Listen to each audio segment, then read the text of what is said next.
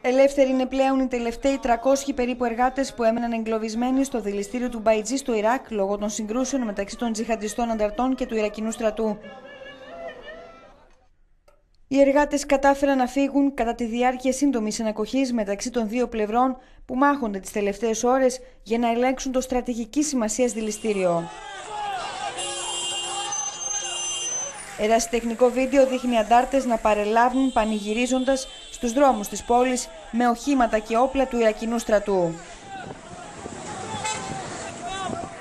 Οι επιθέσεις στα δηληστήρια έχουν προκαλέσει σοβαρά προβλήματα στους καταναλωτές που σχηματίζουν ουρές έξω από πρατήρια καυσίμων στο Κυρκούκ. Φοβούνται ότι σε λίγες ημέρες θα είναι αδύνατο να προμηθευτούν καύσιμα.